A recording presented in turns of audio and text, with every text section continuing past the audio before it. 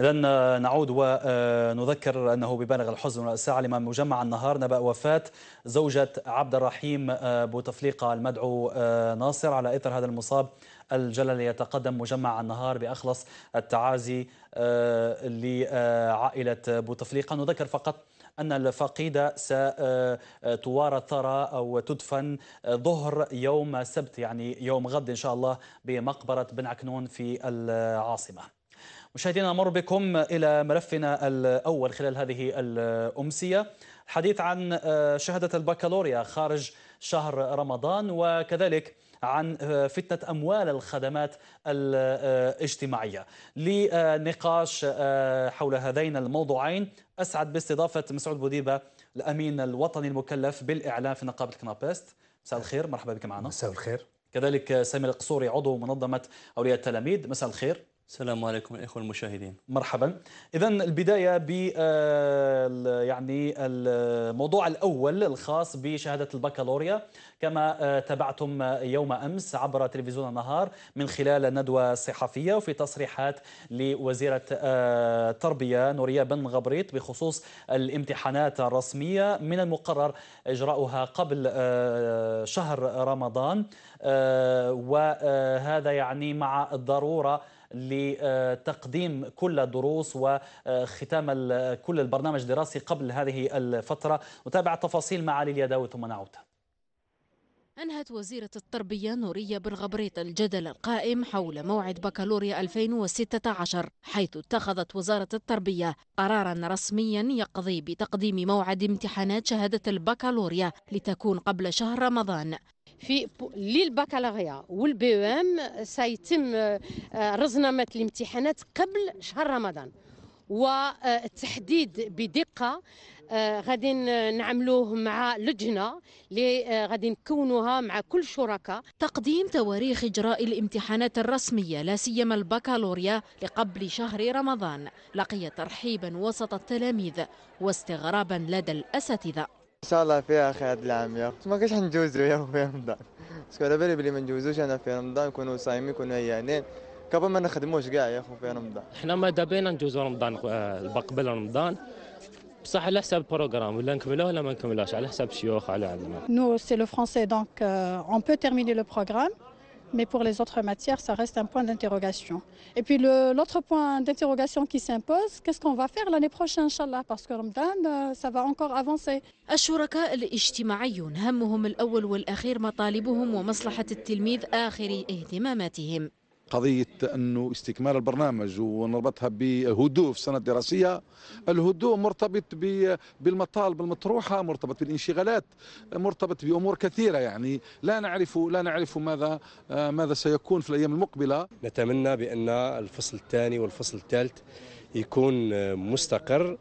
بطبيعة الحال استقرار مربوط بالتكفل بالمطالب المرفوعة التكفل بالانشغالات وطنيا وولائيا. أخيرا مطلب التلاميذ بتغيير موعد الامتحانات الرسمية استجابت له المسؤولة الأولى عن القطاع على أمل أن تكون النتائج النهائية في المستوى. طيب أبدأ مع الأستاذ مسعود بوديبة بما أنك أستاذ. يعني ترى أنه فيه إمكانية لاستكمال كامل البرنامج قبل هذه الفترة؟ بداية نحن نرى بأن مراجعة تواريخ امتحانات الرسمية في هذه الفترة مهم جدا لأن هذا الملف نحن مجرد الإعلان عنه في البداية حذرنا من استغلال هذه هذا الملف وهذه التواريخ خصوصا تاريخ امتحان شهادة البكالوريا لأغراض ممكن ستمس بوحدة البكالوريا وطنيا وممكن سوف تؤثر على نفسية التلاميذ إلى آخره. نظن بأن مراجعة هذا التاريخ في هذه الفترة بالذات سوف يخدم أولا وحدة البكالوريا وطنيا. سوف سوف يكون له استقرار على نفسية التلميذ وعائلتهم. وثالثا سوف نعمل بالتشاور مع وزارة التربية الوطنية لوضع طيب تواريخ مضبوطة. فيما يخص البرامج. ما جاوبتنيش على فيما يخص البرامج نعم. هذا واش نحوس؟ فيما يخص البرامج. راح تكملوه أو لا؟ هذا كله لأنه راح يكون فيه ضغط. هو كله مرتبط باستقرار السنة الدراسيه ضمن الثلاثي الأول أعطى مؤشرات بأن تقدم الدروس تسير في ظروف عالية. إذا كان الفصل الثاني والثالث مرت بنفس ظروف الفصل الأول نظن بأن تكملة البرنامج ما راحش يكون فيها مشكل والأمور سوف تكون بصفة عادية. والبعض يقرأ هذا كتهديد يعني من قبل نقابات. يقول أن النقابات آه، تقول أنه الفصل الثاني والثالث لازم تكون بنفس الهدوء. هذا الهدوء مرتبط بالمطالب اللي ترفعوها أنتم. بطبيعة الحال نحن الهدوء يتطلب بالتكفل الفعلي بالانشغالات والمطالب المرفوعة. ونظن عندما يكون الحوار الجدي ويكون الاهتمام البالغ بانشغالات الموظفين نظن بأننا يمكن أن نتفادى مثل هذه الانسدادات. نتمنى أن الأمر يسير في فيما هو مطلوب اللي هو استقرار السنة الدراسية. طيب يعني يكون ما يكونش فيه آه، استجابة للمطالب ممكن أنكم تعاودوا ترجعوا لما جرى في السنة الماضية؟ والله نحن آه، في البداية دائما دعوتنا هي إلى الحوار الجدي وهذا آه، دعوة للجميع وحتى القائمين على وزارة التربية الوطنية هم يصرحون بذلك. نظن إذا كان الحوار جدي فيمكننا تفادي هذه الأمور. إذا كان هناك انسداد في الحوار إذا كان هناك آه، يعني عدم الالتزام بما هو مصرح به وما هو ممضى في المحاضر نظن بأن هذا يمكن أن يخلق لنا مشاكل في الولايات وعلى المستوى الوطني. طيب سمير القصوري آه، من منظمة أولياء التلاميذ. آه، المنظمة وحتى آه، التلاميذ كانوا يناديوا أنه هذه الامتحانات تكون خارج شهر رمضان. نعم. تم الاستجابة لهذا المطلب. ترى أنه هذا حل هذا هو الحل يعني هل هو حل ظرفي يخص هذا الموسم؟ وكيف راح كيف راح يكون الحل في نعم. العوامل المقبلة يعني؟ نعم. على الأقل ثلاث سنوات المقبلة. نعم. بعد بسم الله الرحمن الرحيم الجواب سوف ينقسم إلى قسمين. القسم الأول سوف أعرج سريعا على تذكير لأولادي لأن شاهدنا في الفيتيار كانوا متخوفين من رمضان ولو كان أن المنظمة طلبت تأخير أو تغيير التاريخ الامتحانات ولكن أعيد وأذكر لأبنائي خاصة وللأولياء عامة ما قلناه في هذا المجلس في البلاطو عندها عدة شهور أن اختبار في شهر رمضان لا يعتبر عائقا وإنما يعتبر جهدا إضافيا. ونحن كمنظمة عندما وجدنا الخيار أصبحنا يعني آه، عملنا جاهدين لتغييره.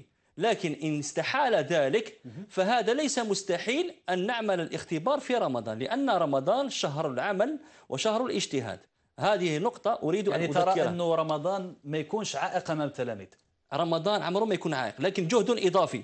وحنا كي نسيو الانشغال تاع أولادنا ماذا كي صبنا بلي كاين حل. وحنا اقترحناه للوزارة آنذاك ألا وهو تقريب الامتحانات ما بين 29 ماي إلى 2 جوان وهو الوقت المناسب دون انقطاع لأن ما دون ذلك وبعد هذا التاريخ سوف يكون هنا انقطاع لآخر الأسبوع فالتاريخ الأمثل لشهادة البكالوريا نحن أعطيناه في 29 ماي إلى 2 جوان طيب أما حديثك هذا التاريخ فقط اللي آه نعم. يعني آه تم تقديمه لامتحانات شهاده البكالوريا وحتى امتحانات رسمية أخرى ما تشوفش أنه راح يكون عائق على آه فترة تحضير التلاميذ نعم آه، فترة انقطاعهم عن الدراسة والتحضير إلى غاية أكيد. أكيد. الامتحانات الرسمية آه، بما أن الفترة حتكون قصيرة يعني. نعم الفترة الفترة نحن شاهدناها أنها لن تكون قصيرة وخاصة بعد تصريح الوزيرة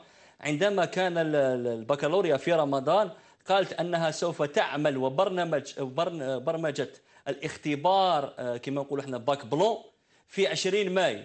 هذا دليل قاطع أن البرامج سوف تنتهي ما قبل هذا التاريخ. هذا واحد. ثانيا أريد أن أكمل جوابي في الشق الثاني وهو آه، تثمين منظمة لقرار وزير التربية لتلبية آه، طلبات وانشغالات التلاميذ وأوليائهم. وهذا دليل أن الوزيرة الآن أيقنت أنه لا يجب أن تأخذ أي قرار ارتجالي ويصبح فيه هناك يعني انشغالات إلا بالعودة لهذه المنظمات إلا, إلا إذا كانت شاورت يعني نعم. الشركاء نعم. وهذا ما نثمنه إن شاء نعم تفضل أستاذ. هي آه، بالنسبة للخلل الذي كان مطروح في التواريخ هو عندما غيرنا البكالوريا من 7 جوان إلى 12 جوان.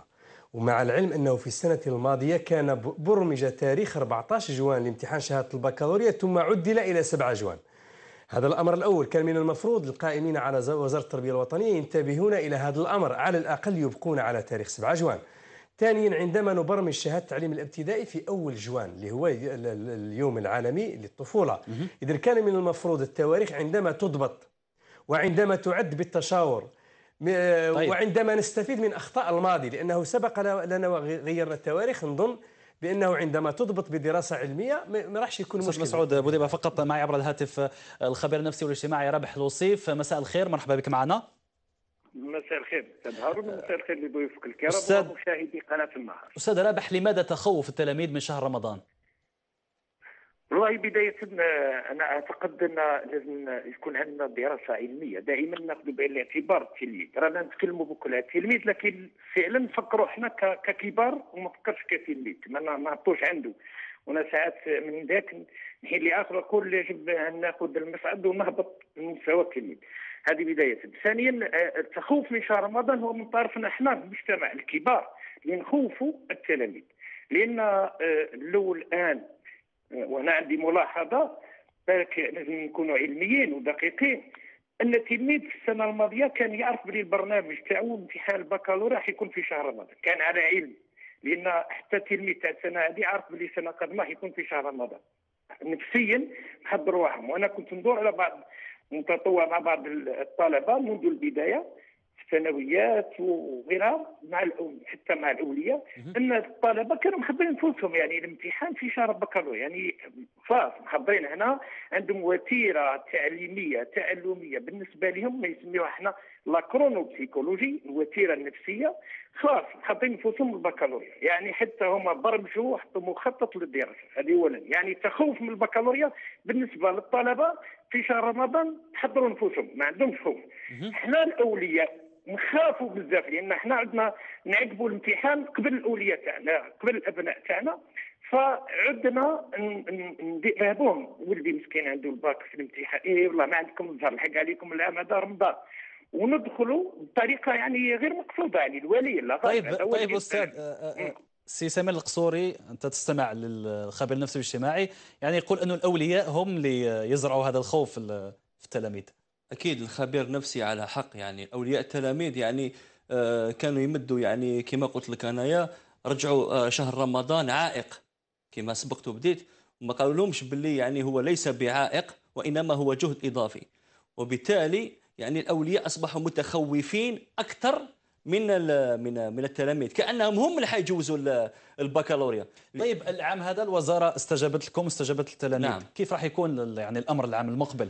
أو هناك- السنوات المقبلة؟ أكيد أكيد. راح ي- يوخروا البكالوريا بعد لا على؟ كل حال هي هي تعتبر اقتراحات. كما كانت الاقتراحات هذه السنة. ومن بعد شفنا باللي هذه الاقتراحات يعني هذه السنة كانت معقولة. إحنا عندنا اقتراح السنة الماضية السنة الجاية إن شاء الله. إذا كان معقول وكل الشركاء تفهموا عليه راح راح نلبيوه. إذا كان غير معقول فنذكر أن رمضان اختبار في رمضان ليس عائق. يعني هذه هي ال- ال- طيب نعود للأستاذ ربح الوصيف فقط. في آه، الأخير معك فيما يخص تحضيرات التلاميذ لشهر آه، أو للامتحانات الرسمية. يعني لا نركز فقط على شهادة ال- البكالوريا. آه، الآن بعد تحديد هذه التواريخ يعني بعد تقديمها يعني راح يكون فيه صعوبة للتلاميذ أنهم كما قلت أنت يعني آه، يغيروا في آه، وتيرة عملهم أو يغيروا حتى في تفكيرهم في تواريخ الامتحانات أو أنه ما زالت الفترة طويلة يعني الامتحانات. والله والله والله بالنسبة لنا إحنا تبدو طويلة. بالنسبة لهم عندهم ما يسمى عندنا ما يسمى يسمى فينا الأساتذة الكرام وأنت في بالك كي تعود عندك عمل ومحدو ومزروب تلقى الوقت ما يسمى بالزمن النفسي le psychologique معناه قال يا صحيح هما بالنسبة لي ما وصل البكالوريا خلاص. الآن فالمراجعة تكلم مع أي طالب يقول لك والله غير راح الحالة وراح ديما الحالة. هذا نسميه إحنا الزمن النفسي إحنا الآن هي إعادة الآن تحضير من جديد وعمل نفسي كبير وعمل مرافقة من طرف الأولياء. وينقصوا من الخوف تاعهم ويحاولوا يساعدوا الأبناء تاعهم حتى يشوفوا الزمن باللي فعلا لأن هنا تعرف دوك نعطي مثال ولو راح نطيل عليك ولو في دقيقة. باختصار فقط نعم الأستاذ الأستاذ آه، النقابه موجود يعرفها كأستاذ. شوف لما أنا ندير امتحان ونقول آه في الامتحان هذا راح يجي ولد آه، الطفل هذا الاب تاعو أستاذ في الرياضيات أكيد راح يجاوب مليح. لما أنا نبدأ نعطي له نجيب الورقة ونصحها نلقى ما جاوبش نولي نبحث على التوازن الذهني. وش هو التوازن الذهني اللي فقدوا هو الاستاذ هذاك شاف باللي الطالب ما جاوبش. دونك يولي يبحثوا على الورقة كتابة. نفس الشيء يحدث للطالب. الطالب طيب. الآن كان حط عنده موعد معين. فيحدث له عدم التوازن الذهني. فإحنا راح نبذلوا جهد كبير كأولياء كأساتذة باش نعاودوا نرجعوه باش يلقى هذاك التوازن الذهني من خلال ماذا؟ من خلال ترتيبنا لطريقه المراجعة. شكرا جزيلا لك الخبير النفسي والاجتماعي ربح الوصيف، شكرا. شكرا. اذا نطوي هذا الملف الأول الخاص بشهادة البكالوريا آه، في رمضان خارج رمضان قبل رمضان على كل نرجو التوفيق لكل التلاميذ دائما في الشان التربوي في تصريح لوزيرة التربية آه، نورية بن آه، غبريط أو آه، نعود للملف الآخر. نعم نقابات قطاع التربية. نعم طالبت الوزارة الوصية مرارا وتكرارا بتغيير طريقة تسيير الملف الخدمات الاجتماعية المحتكر من طرف الإدارة المركزية للجنة الوطنية. هو ما وقفت عليه وزيرة القطاع جنبا إلى جنب مع الشركاء الاجتماعيين. التفاصيل مع هاجر زليلف. أكثر من 900 مليار سنتيم. مبلغ مالي ضخم وميزانية معتبرة خصصتها وزارة التربية لملف الخدمات الاجتماعية. أين تصرف؟ بين من ومن توزع؟ غموض يشوب تسيير هذه الملايير والنقابات تتحرك. الثقة إذا ما متبوعة بالمراقبة فليس لها أي معنى. الإنسان إنسان. تديرني أنا رئيس اللجنة الوطنية للخدمات الاجتماعية. إذا كان ما عندي ما كانش عليا مراقبة نولي صراخ كي نشوف قدامي 900 مليار سنتيم وهي أن تعطى الأولوية للجانب الاجتماعي التضامني وأن تخصص 80% من الميزانية للجانب الاجتماعي التضامني و20% إلى الجانب الترفيهي. نورية بن غبريط تستجيب لمطلب الشركاء الاجتماعيين وتجتمع رفقة أحد عشر نقابة. نتناقش مع بعض. حول موضوع يعني كل موظفي القطاع سواء كانوا منخرطين في النقابة أو لا. هو موضوع الخدمات الاجتماعية. وورقة الطريق مصوبة نحو إعادة هيكلة تسيير ملف الخدمات الاجتماعية. كاين اختلافات ما بين في التسيير؟ نعطوا الأهمية ولا الأولوية للجنات آه، على المستوى وحدين راهم يطلبوا على المستوى المؤسسة واحد أخرين على المستوى الولاية وعندنا على المستوى الوطني. هذا ما آه، يعني الإدارة ما عندهاش منع أو ما عندهاش موقف آه، خاص. الشيء اللي يهمنا وهو تطبيق القوانين. بعد أشهر قليلة من تنصيب اللجنة الوطنية للخدمات الاجتماعية يأتي هذا اللقاء بين بن غبريط والنقابات عله يجد حلا نهائيا لهذا الملف المتجدد. أستاذ مسعود بوديبه ما الذي كان في اللقاء مع الوزيرة؟ على وقت اتفقتوا اجتماع البارحة كان الغرض منه هو آه، الوقوف على القرار 1201 تحديد النقائص الموجودة فيه واقتراح آه، بدائل لإضفاف الشفافيه أكثر على هذا الملف. ولتحسين طريقة التسيير بالنسبة لملف الخدمات طيب نبسطوها فقط للمواطن نعم. يعني اللي يتابع فينا. الحديث عن حوالي 900 مليار سنتيم هذه الأموال الخاصة بالخدمات الاجتماعية. يعني آه، آه، هذه الأموال آه، لمن مخصصه يعني؟ مخصصه لمجموعة من النشاطات التربوية. يستفيد منها الأستاذ. هناك بعض أحيانا لما نستعمل أساليب الأرقام دون توضيح يوقع هناك يعني هناك غموض. يعني. عندما نقول 900 ألف مليار سنتيم دلالة على أن هذا القطاع هو أكبر قطاع في الوظيفة العمومية. عدد العمال تقريبا يتجاوز 700 ألف موظف ولذلك نسبة 2% من كتلة الأجور. إذا اعتبرنا أن 1% نصفها يروح لفان بوست ونصفها يروح للتقاعد النسبي. إذا 2% اللي تروح لصندوق الخدمات الاجتماعية بطبيعة الحال يكون هذا المبلغ مبلغ ضخم. ضخم. عدد العمال أو عدد آه، كبير. إذا وكيف راح يستفيدوا منه آه، عمال القطاع؟ عمال على شكل مرة. عمال القطاع اليوم آه، بدأوا يلمسون أهمية هذا الملف كمتنفس بالنسبة إليهم لسد بعض الحاجيات اللي هم راهم يعانوا فيها من نتيجة الظروف الاجتماعية والصحية. كاين الجانب الصحي هو جانب مهم في الخدمات الاجتماعية. اليوم موظفو القطاع لمسوا ذلك من خلال الاتفاقات التي يعني تتم الآن مع المصحات ومع يعني عدة المخابر المختصة في التحليل إلى آخره. كذلك هناك الشق الاجتماعي فيما يخص المنح فيما يخص السلف فيما يخص ملف السكن.